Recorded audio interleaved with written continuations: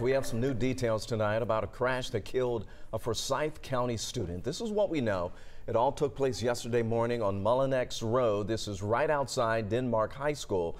Now, police say that two teenagers were in the car, a 17 year old driver and a 16 year old passenger. This is the sad part. Tonight, we can confirm they are sisters. Forsyth County officials tell 11 Alive the two were going down Mullinax Road when they hit a curb and then lost control. The 16 year old pronounced dead at the scene. Authorities are not releasing their identities right now, but we do know the 16 year old was a student at Alliance Academy. We're told the school had additional support on campus today for the students and staff.